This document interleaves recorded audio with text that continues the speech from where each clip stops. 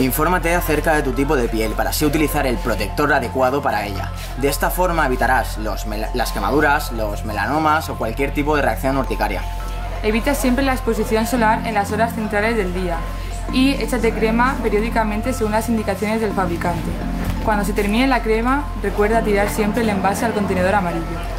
Recuerda proteger tus ojos con gafas solares que cubran el 100% de la radiación ultravioleta y la luz azul. Consulta e infórmate en tu óptica más cercana.